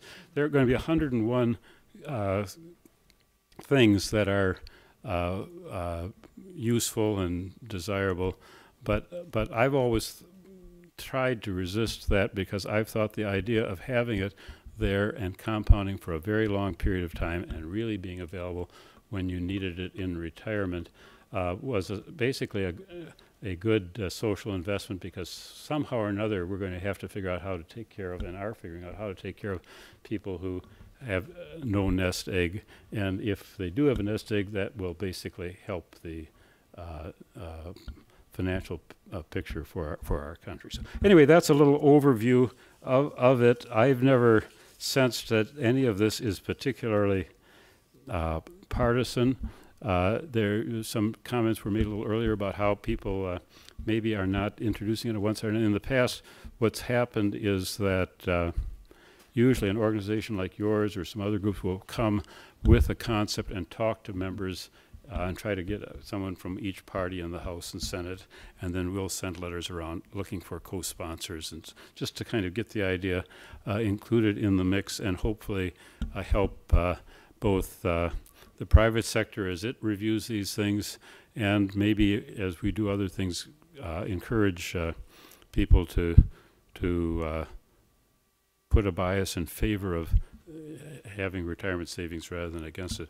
I've co-sponsored this Congress uh, legislation that does or would do what uh, for uh, private retirement accounts what is already done by the federal government. If you have a, you know, you have one of these, uh, whatever we call it, our our retirement savings account, and and they will send you a statement every year now, I think, saying how what what how much you can expect to get a month uh, at age whatever it is, 65 or something, uh, from with the amount that you have in that account, and uh, uh, that's a kind of a guideline. Should I be trying to put more in if I can, if I have that option faster, or or is it adequate? Uh, I think it, it is a little sobering, but also encouraging. If you do that over years, see it start creeping up, uh, uh, and uh, and realize that you not only will get your Social Security and your basic pension, but then you'll have an additional uh, amount, and watch that uh, uh, grow. So we're trying to do that so that people can visualize and benchmark simply where they are, because otherwise people see fifty thousand dollars, they think, well, maybe that's adequate, and they realize if they get that account that that's not going to be uh, the kind of lifestyle that they want in their retirement, or they're going to have to keep on working part time or whatever if they want to. Uh, uh, you know, stay in their home and all the rest. Anyway, thank you for your interest in this. It's been delight working with the uh, with your institute on these issues. I think they're they're not necessarily high uh, emotional, but they're very very important. And uh, I I look forward to working with you on on these issues in the future. So thank you very much. I can try. Yeah. He said uh, Congressman Petri will, is willing to try a few questions. So do we have any in the room? If I don't know the answer, Richard Markowitz will know the answers. Yeah. Yes. Congressman Petri, you talked about the TSP program and what they're sending out. One of the things that's new about the TSP program is when you enroll, you're automatically enrolled in the G fund. Safest one percent fund, instead of being enrolled in something that would actually get you a much higher return on the monthly number. Is there any discussion about having the TSP enroll people into the life cycle accounts? Yeah, yeah, that would, that's, they have, you know, as you know, my impression is, I, I mean, I actually, the way the federal, we've had hearings, uh, before the Education Workforce Committee on the federal retirement program. Some of the private, uh, uh, there were some issues about, uh, uh, some of the mechanics of it, some people, and they have a small committee of very responsible people, I think, that basically has a, has a bidding every four or five years and contract with someone to manage the whole thing. And the last time I heard it was Barclays Bank out of London uh, that manages the federal, our U.S. federal government retirement accounts. But that's I, that's not discouraging. It's I mean they do it for Ohio, they do it for other countries. It's a huge amounts, and they do, it's a computer thing, and they balance it and all. So it's very well done, and the overhead costs of the federal retirement pension program in terms of fees and all the rest are minuscule. So it, but uh, anyone who's thinking of having a uh, individual IRA as a or some other 401 you know other savings program, first top up on your federal because the fees get you over time, and there's no no program that's more efficient than the federal retirement program. I don't think in the whole. Uh, maybe maybe some of these index accounts come come closer in in the ballpark, but it's very well done. Uh, uh, they I my impression is that they do try to survey and work on that, and the reason for the uh, U.S. government bond default is that for new people, especially who are unfamiliar with all of this, it seems the safest and most conservative thing that it could do, and that's what people, uh, most people seem to want. Now, the returns are not over time as good, uh, and uh, either of us, I, I, I won't say, say have one. I say what I do, but I, I'm, I'm sort of an outlier because I have it. But, but uh, uh, I, I'm, I mean, I was as a young person, I would frankly uh, probably not try to. You can switch. You just can call up or go to your account, and you can switch and move the percentages back and forth, and so on and so forth, very uh, easily and at no cost. And you do it every. So, uh, I mean, if I were doing it, I would probably either put it all in in. Uh, one of the U.S. stock accounts or small cap accounts, or uh, the private bond tends to do a little better than the government bond, if I recall. Uh, or if you really want to be, you can do a little international, a little uh, uh, domestic, and a little government bond. Uh, and mix it. They do have an option, you know, give, give you advice when you're nearing retirement, and you can glide into a very conservative investment profile. That's a service that they provide. Uh, but uh, the key thing is if you're not going to have to uh, use the money for some years, it's really you're really smart taking the Warren Buffett approach, which is to try to not play, not move in and out, not understand you're going to have some years where you're going to lose and some years where you're going to win, but over look at wh- what the, the average is, and it'll work out. You'll have you'll get some really good years. You know, if you're really lucky, moving around, but the odds are you might move just the wrong way, and you'll you'll you'll shoot yourself in the foot uh, and lose a couple of years. Uh, income. We just had one, you know, last year the stock bar was up 30%. So uh, everyone who was in that is feeling very, very good because they were glum when the things were down and were, everyone was underwater by 30, 40%. Now that's all been made back and they've achieved a rate of return that's equal to or a little better than the government bond account is my, my impression.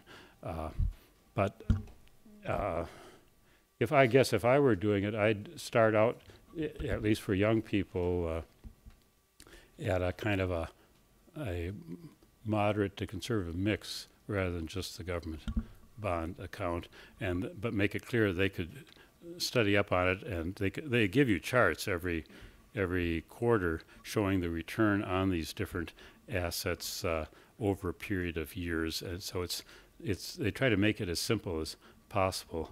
And it, different people have different attitudes. Some people just don't want, you know, they do these studies on human nature, and people are are willing to forego considerable gains to avoid uh, experiencing losses. They don't like to experience losses, uh, even though uh, you, could- you could come out considerably ahead if you are willing to recognize some losses in exchange for greater gains over a period of period of years. It's just the way we're all we're made up differently. So. You've got one more question? So I I know that you were an early supporter of the open space caps and you spoke eloquently today about the benefits of starting early. I guess my question is, how can we bring both sides of the aisle together to get that done?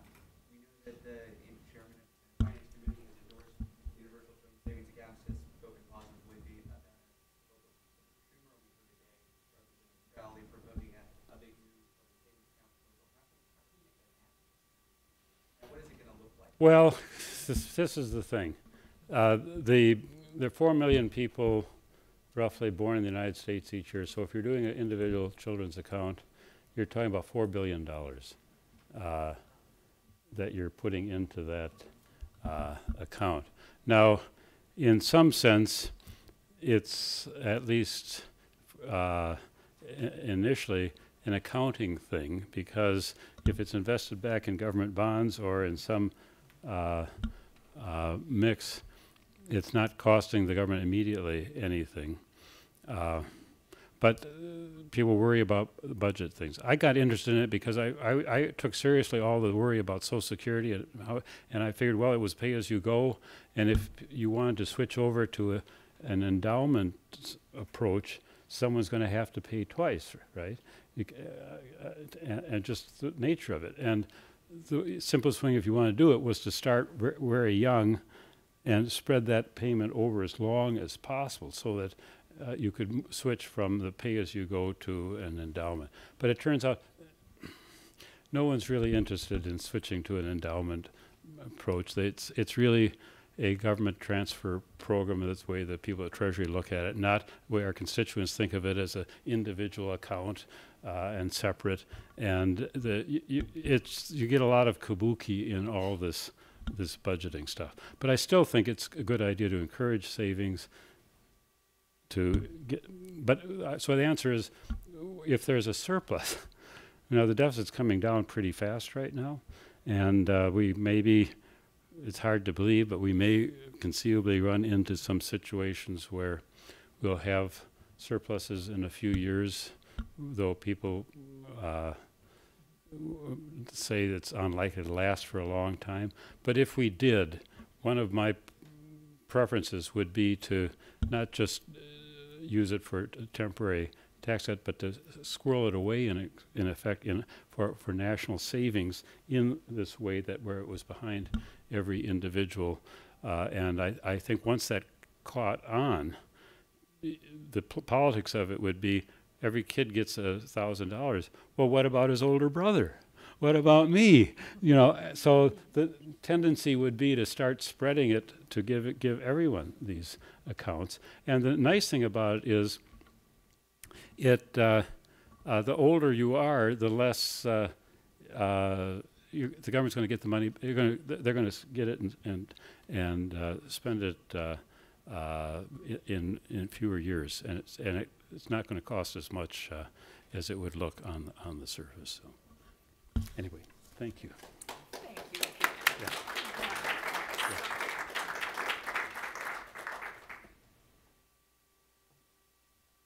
So you'll, you will now see why I deeply appreciate Congressman Petri and those remarks. Thank you, Richard. Um, we're going to close out our event eventually with Mark Iwry, uh, who is uh, going to say a little more about the myRA. Uh, this is an acronym event and an event that is densely heavy with account names. We have U.S. accounts, the Crowley proposal, my RA, the Obama proposal, and we've heard about the automatic IRA, the Neal proposal.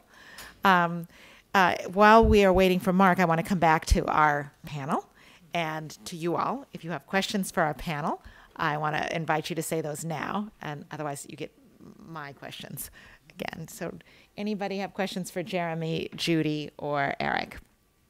Uh, Sean, I saw you first, and then I'm going to come to you. I'm going to ask you a question actually about something that uh, just talked about. You talked about the adoption of automatic enrollment.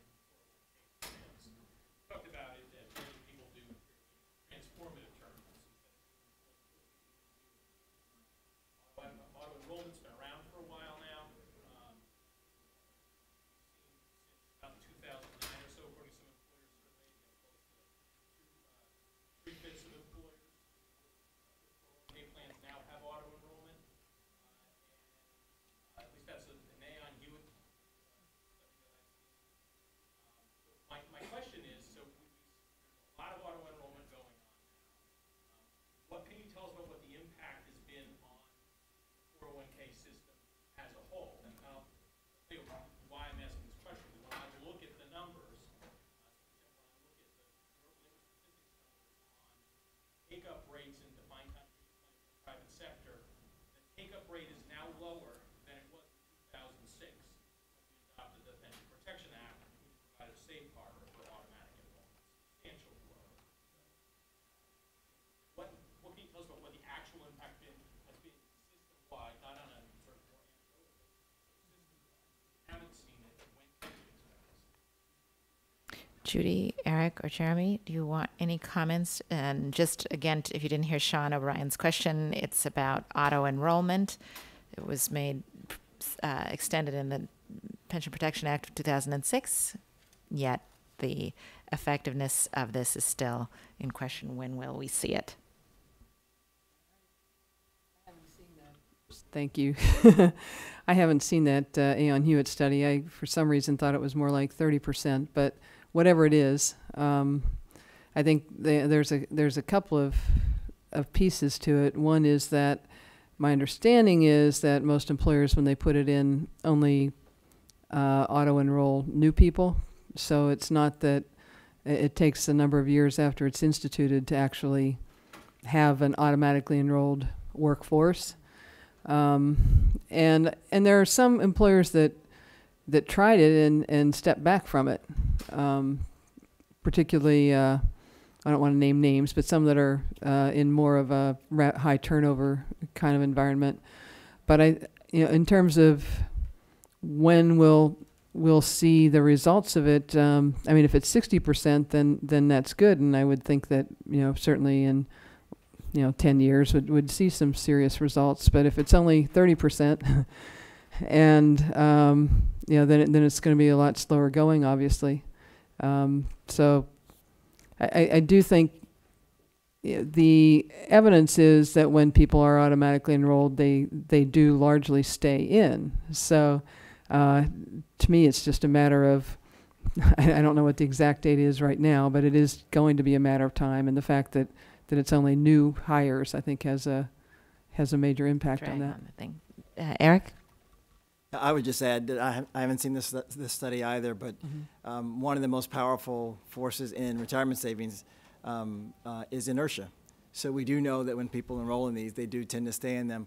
Um, our con- our uh, concern is that you need auto enrollment. You also need auto escalation, because if you auto enroll someone at the the amounts that they do, then the amounts tend to be very very small, and it does take a long time to make a big difference. But if you can add that with auto escalation, and a lot of employers and public and private have been very reluctant to do that, to make those demands or commitments on their employees. Thank you. Now I can recognize you. Obviously, there's been a lot of discussion of the, uh, the retirement crisis and also the role of the individual account savings plans in addressing that. I wonder if the panel thinks there's also a role or work to be done on the defined benefit system being part of that solution. Perhaps with some innovations to make it more palatable to employers, is there a possibility of using those types of plans as part of the solution as well? Great. I think you all heard the question. The defined benefit expansions. And to the credit, there's a wonderful other conference going on right now uh, with NIRS on that question. So we're probably thinly staffed in this room. But uh, Judy and Jeremie and Eric, a reaction?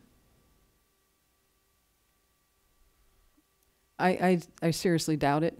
Um, I mean, I'm, I'm an actuary. I would love for them to, to make a resurgence, but um, and, and cash balance plans are actually popular um, as new plans in the smaller business environment. But um, I, I think for for whatever reason, um, I, I just can't see how we're going to make them so attractive that a, a large corporation is going to want to come back and and put in a new DB plan. I don't see that happening. Maybe I'm wrong, but I just don't see that happening. Eric, since you manage s- some of these. I mean, there's not much to add. I mean, I, I do think um, where they're still in place, they are, as you referenced, they are an important part of having people, hel- helping people have a real chance at having a good retirement. But it is hard to see. uh, The trend is the other way, right, obviously, and um, I, I have a hard time seeing what those forces would be that would turn that trend around. I would cite to the Congressman Crowley's earlier number if 40 million people still rely on the DB system, we must not do anything that doesn't strengthen their hold. So I thought that was an interesting quote from Congressman Crowley. And I know often the let's not weaken what we have is the watchword of many of us in the retirement system. Other questions? So if I am going to get uh, one more question while we wait for Mark, and hopefully someone on my staff will tell me if there's any change. If we get one more snow delay today, I will. Uh, um, and this is in anticipation of Mark Iwry coming. I too was sitting on the couch with the popcorn, uh, surprised at the president's announcement of myRA, and uh, uh, and yet cheered that retirement security would be back in the news and back in the State of the Union again. And I've also been surprised by the attention that this very modest tool has received, which is essentially starting folks voluntarily in a um, in a completely a G fund, in a retirement bond, all bond fund, very similar to what uh, public employees have in the federal thrift savings program.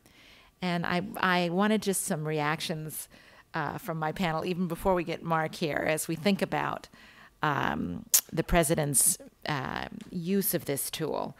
Um, whether you're willing to give any of you give some thoughts going forward about uh, since this is going to happen because it's a pen and a phone kind of action it doesn't need this body to approve it um, what are you willing to think judy Jeremie or eric where this will leave us starting in this way with offering some pieces of the millions who are outside of this system offering some of them a way to get started where will that leave us wonder if the reaction Jeremie Yeah, what what I would what I was really excited about is when we talk about this, we often talk, you know, people talk about the plumbing, and we always we typically talk about the water. We're talking about water pressure. In this case, like how much money is going into the system. But for a lot of people, they don't have the pipes to connect to the system, and what's so exciting about MyRA is that it creates that connection for people that currently don't have it. And looking forward, what I think is is so exciting about it is,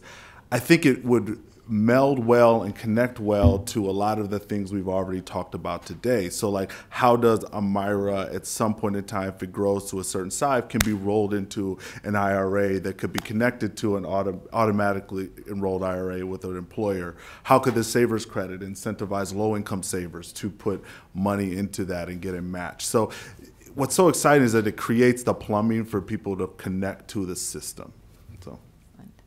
So. And we have Mark Mark just uh, just walked in. Eric or Judy, a quick comment before we hear from Mark. Well, for, uh, for, for us, we were just excited to hear um, the president talking about expanding savings at any level. That's just, I mean, that just having that conversation, that discussion, just points to the fact of, of what an issue it is. So we're thrilled uh, with that. And a- anytime we can establish the habit of people saving earlier, it's just a good thing. Great. As far as we're concerned, it's all about auto IRA. And uh, if you look at the Neal bill, there is a, the default is uh, Treasury is directed to create something like this, and now Treasury is creating this. So we feel like the the structure will be in place, and uh, let's go. Mark, we are warming up the crowd for you. Uh, we are very pleased that you are here. Uh, we have had a wonderful morning, started with Congressman Crowley, and we ended with uh, Congressman Petri. And Mark, we are thrilled that you are here. We started the MyRA. You can remind us what it is, uh, but we started your uh, we just started this discussion. I'm very thankful that you showed up. So, welcome. Hi. Hey, Judy.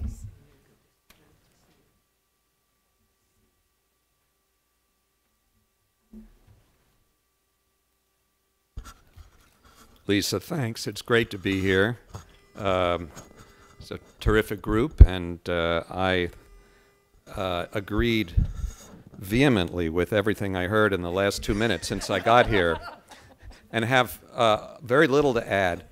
Uh, but it it is uh, definitely the case, you know, as I think as Eric you were saying, that it's heartening to have uh, more focus on this issue, right? On the need to get more people prepared for retirement, the gap in our retirement security and our retirement savings situation, including, you know, as the uh, president repeatedly notes, first and foremost, the importance of supporting Social Security uh, and making sure that that remains, you know, the bulwark and bedrock uh, that it is. Uh, and second, uh, supporting our employer plan system, which uh, is still a uh, important fundamental second pillar in the United States that's doing so much to deliver benefits uh, to the middle income folks and many lower income folks in this country uh, that has both in the defined benefit and in the defined contribution format significant cross subsidies built in so that the more eager savers, those of us in the higher tax brackets, can bring along the more reluctant savers, those in the lower tax brackets, uh, and so that we can uh, maximize our ability to get people into the habit of saving uh, and develop the culture of saving. Those defined benefit and defined contribution plans have gone a long way and are still growing, and we're still doing everything we can to support, promote them, and make them more effective, including the 401k automatic features such as automatic enrollment, escalation of contributions, auto enrolling people who are not just new hires but have been in the job for a while and haven't been participating in the plan, uh, and other plan design aspects, including more employer contributions, more matching contributions, even non-matching employer contributions, uh, to make the plan, the 401k and its uh, variants, the 403b, the 457, to make those more effective uh, saving vehicles. And to do what we can to keep promoting, uh, supporting the defined benefit plans uh, where they're the most robust in the aggregate in our state and local system, and where they're uh, still an important part uh, of the system in the corporate world, despite the, the trend uh, to, um, to freeze in many cases and to uh, uh, adopt new plans that are of a, of a DC nature. the MyRA is an attempt to do what Judy was just alluding to, really, to take a first step toward uh, something more sweeping and ambitious, uh, namely automatic enrollment of the tens of millions of American workers uh, that don't have access to an employer plan today and therefore can't be automatically enrolled. Uh, if we can get them automatically enrolled into payroll deduction IRAs uh, at the workplace in the case of employers that are not sponsoring that, that are not sponsoring a plan. Uh, if we can't persuade that employer to sponsor a plan, then at least let's persuade that employer or call upon that employer to let people use its payroll system to save and that set it and forget it automatic way uh, that, um, that the rest of us, most of us, have access to. And so the MyRA, absent so far the kind of uh, legislative result that we're hoping for and looking for uh, by enacting automatic IRAs. Uh, the, the MyRA is an administrative step designed to go down that road um, to the extent we can now uh, before legislation is enacted and uh, at least use the payroll deduction method of saving uh, and the uh, appeal of an investment option that for some segment of our population would be more uh, comforting or more enticing than uh, those that involve market risk. So not as a suggestion that people invest in, in uh, principal protected uh, investments as their whole uh, portfolio, uh, that they do so uh, in the long term, but as a starter, uh, as a way to get some of the hesitant folks who haven't been saving at all to feel more comfortable that the risk of loss in a down market uh, isn't something that, if it worries them, they need to deal with uh, if they want to save, that there's a way to at least start without that. We set a $15,000 cap on the amount of the bond. This is essentially a U.S. savings bond backed by the full faith and credit of the United States and uh, has no risk of diminishing in value at any time. Whatever interest is added to it stays and gets further supplemented by, by more interest. Uh, this is a, an investment that simplifies the process and is intended to target not most of us, but just the people who aren't saving now, who are predominantly lower and moderate income, who aren't not eligible for an employer plan, you know, not eligible to participate in a DB or a 401k, uh, and who are particularly hesitant about the kind of investment options that most of us and most of the 401k uh, universe is in, ones that do have some market risk in the interest of potential higher growth over the long term. So if we can get people started by uh, inducing them to begin with a savings bond and then roll over into the private sector and invest in uh, whatever way they choose, uh, that would be uh, moving the ball forward.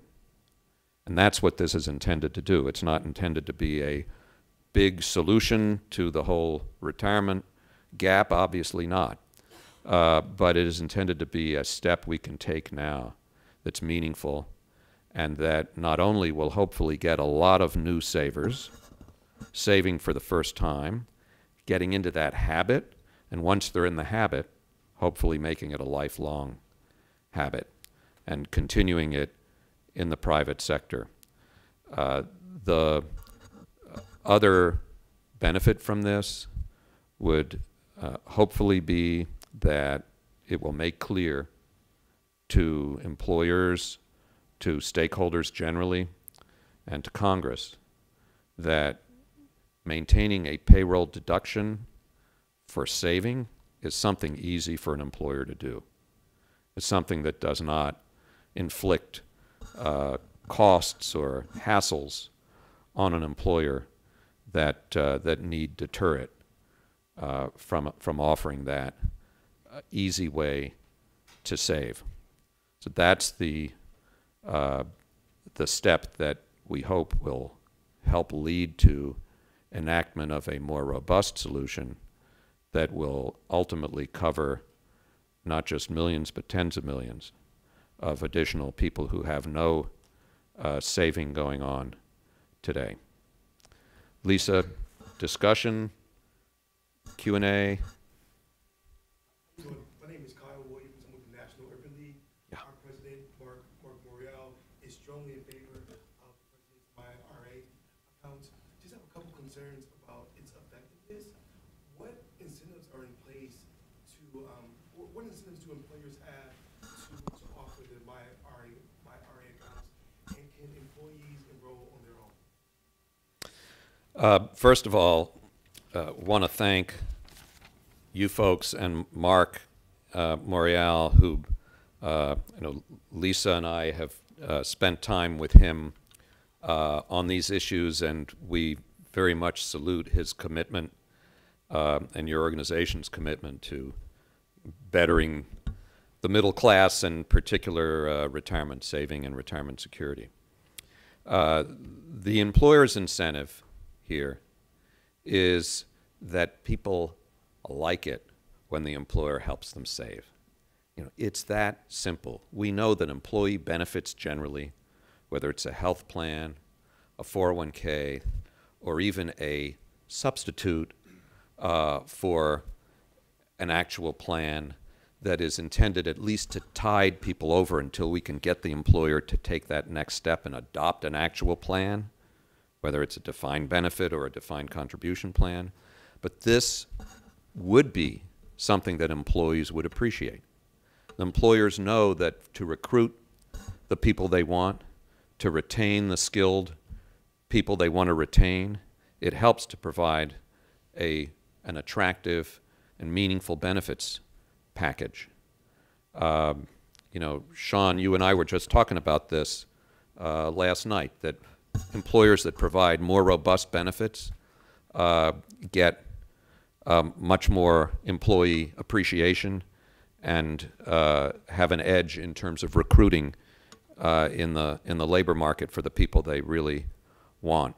And increasingly, as we get attention to this issue, more Americans are going to be sensitive to the fact that this is important that they, for their own families, for their own for, for themselves and for the country as a whole, um, uh, need to be saving more, and employer-based plans are the best way to to do that.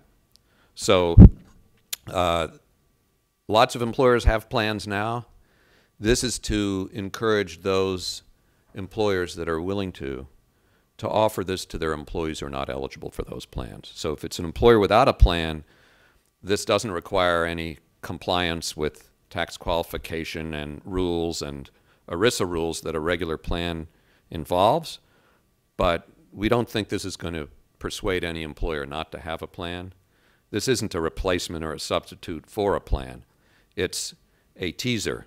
We want this to be something that the employer recognizes is essentially costless for it to sponsor, will arouse appreciation among its workforce because it's helping them save, and will um, hopefully lead a lot of these employers to decide, you know, payroll deduction saving on a tax favored basis, this is pretty good. Our people like it. Why haven't I adopted at least a 401k until now? Maybe it's the matching contribution. Maybe they're not ready to step up and make a contribution. But once they see tangibly how employees appreciate the opportunity to save on a convenient basis at the workplace, we're hoping more employers will say, yeah, I can make a bit of a match. I can make a bit of a contribution. Uh, and uh, will adopt a, an actual plan. So that's our hope that this will lead to that, just as automatic IRAs, uh, if we can get that enacted, will lead to much more uh, formation of 401ks and other employer plans as employers who haven't had a plan see how it's really pretty easy and it's really worth it. Yes.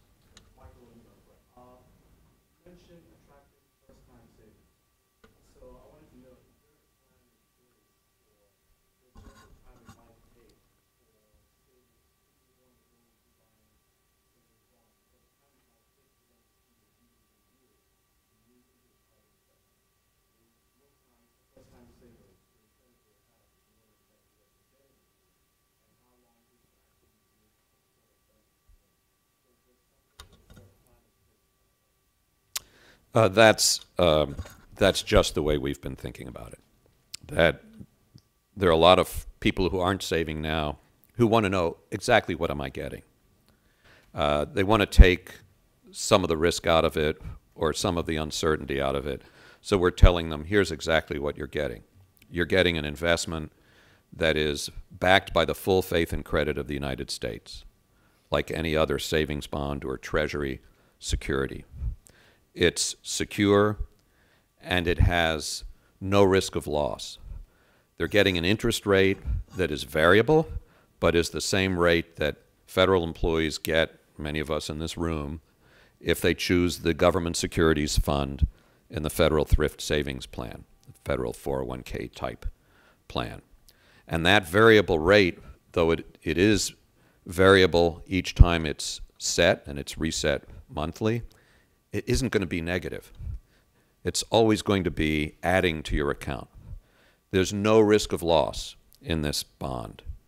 And uh, the bond will be in a Roth IRA so that it can be transferred, as you were suggesting, transferred into the private sector tax free when the person is ready to do that. They'll have plenty of time. If they want to save very slowly, they'll be able to, to save an initial amount as little as $25 to open the account. And they'll be able to save as little as $5 each time they want to contribute. So someone could be adding to this very, very gradually uh, and take years before they're ready to go into the private sector, and that would be fine. Uh, there's a 30 year limit. If at, after 30 years they haven't reached $15,000 in their accumulation in this bond, then they would go over to the private sector, uh, as people would who have 15,000 uh, who reach it more quickly, as most people probably would. Last question? My question is, um, given that it's a voluntary plan, what are you, what is your marketing plan to try to attract, um, different businesses to volunteer to sign up? What, are you looking at certain industries and? The marketing plan um, began uh, recently when we had the uh, President of the United States pitch this in the State of the Union address. I say we had, you know, he's been very enthusiastic about this. He wanted to present it. Um, and so we had the good fortune, you know, as you were all discussing earlier, of getting more high level attention to our issue. Um, so we've gotten tons of attention now, lots of press coverage, lots of people asking about it. Uh, so that's the first phase in the marketing. The second phase is that Treasury is talking to employers. It's getting a lot of requests from employers for more information uh, and is going to have a, an initial phase here that is uh, limited, so not every employer, for starters, that might want to do this would necessarily participate. We're going to invite employers to do so, but we're going to look for a little bit of diversification in terms of geography and size, maybe industry, so that we can walk before we run. You know, kind of try it out, see how it works in different settings, workplace settings, and learn from that, and then make it available to everyone, to all employers that are interested and all employees um, who are interested. And to to your earlier question, uh, we're hoping that once this gets off the ground and it's all working smoothly based on payroll deduction, that it'll be expanded so that individuals who don't have an employer or don't have a workplace payroll deduction opportunity can just contribute directly on their own uh, to to purchase these bonds, um, self-employed and and so forth, and also so that people who get tax refunds, which is still most American taxpayers, will be able to have IRS directly deposit part of their refund uh, into uh, one of these uh, MyRA bonds. Lisa, thank you very much. It's great to be here, and thanks for all that you do. Always a delight to have Mark with us, and especially today when we have a chance to talk about this new policy. We are at 2 o'clock. Snow be damned, as uh, Congressman Crowley started us out. I want to thank you all very much for coming. We did it. I thank you for your attendance, and I look forward to seeing you at a future event. Thank you.